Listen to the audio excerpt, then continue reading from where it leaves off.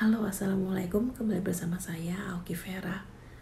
Kali ini saya ingin agar kawan-kawan yang melihat video ini untuk membantu memviralkan agar segera masalah yang akan saya ceritakan berikut cepat ditangani oleh Pemda Brebes, pihak perlindungan anak, juga mudah-mudahan Bapak Ganjar bisa melihat video ini.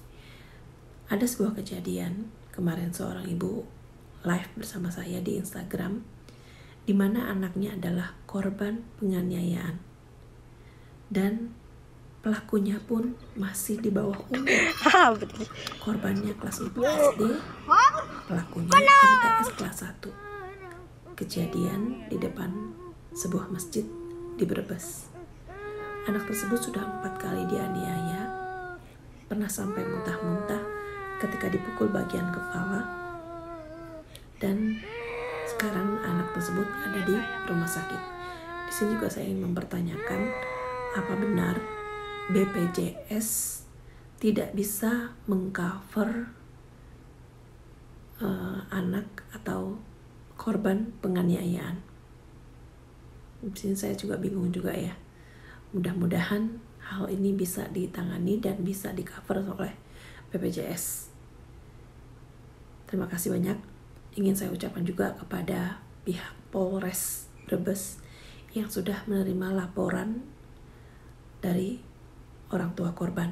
Mudah-mudahan lebih cepat ditangani. Terima kasih banyak. Mohon perhatiannya teman-teman tolong bantu tag ke Polda Jawa Tengah, Polres Brebes, Pak Ganjar, Pemda Brebes, dan yang lain-lainnya KPAI atau PPA. Mudah-mudahan tidak ada korban-korban yang lainnya. Terima kasih banyak. Assalamualaikum warahmatullahi wabarakatuh. Kejadian yang ketiga itu dia memang pagi-pagi muntah. Saya kira ini anak salah jajan atau salah makan. Cuman dia sudah mulai beda itu, udah mulai diem aja, lemas, nggak mau makan. Saya udah feeling, saya tanya dia berantem, dia dipukulin, enggak, dia bilang gitu. Terus pagi-pagi muntah. Ternyata itu kejadian yang ketiga, Mbak. Nah, yang keempat itu kemarin yang hari Kamis tanggal 16 itu yang Kenapa? Dipukul bagian kepala apa gimana? Dipukulin, saya dapat videonya itu, ada videonya dia ngerekam temannya. Udah saya ambil video udah saya, Saya minta, minta. saya minta videonya Bu ya. Nanti kirim videonya Iya. ke saya ya. Takutnya Iya. dipukul bagian kepala, bagian belakang. Ibu sekarang kan lagi di rumah sakit. Iya. Di- Ibu Kepalanya minta benjol, dokter terus bengkak, terus di sininya lebam, Hmm. kakinya lebam, dadanya sakit. Terus Ibu minta Malam. sama dokter di rumah sakit ya Bu. Sudah Ibu, sudah divisum, Ibu kan saya laporkan sudah divisum. sudah Oke, sudah siap. saya laporkan ke Polres Brebes. Kan memang perutnya sakit, nanti hilang, sakit hilang. Lah semalam itu dia nyampe guling-gulingan, Bu. Itu Mbak, saya bawa ke puskesmas, puskesmas nolak. Sudah dirujuk ke rumah sakit sini. Akhirnya dirawat ini. Anaknya Ibu ini mau kemarin kan di video. rumah sakit Brebes di ronsennya di di dada doang kan, nggak nggak bagian perut. Ibu laporan ke ke mana Ibu? Polres Brebes, Polres Brebes yang terima laporannya siapa? unit PPA. Ah, HP-nya error. Unit PPA. Unit DPA. PPA, Perlindungan Perempuan dan Anak. Pep.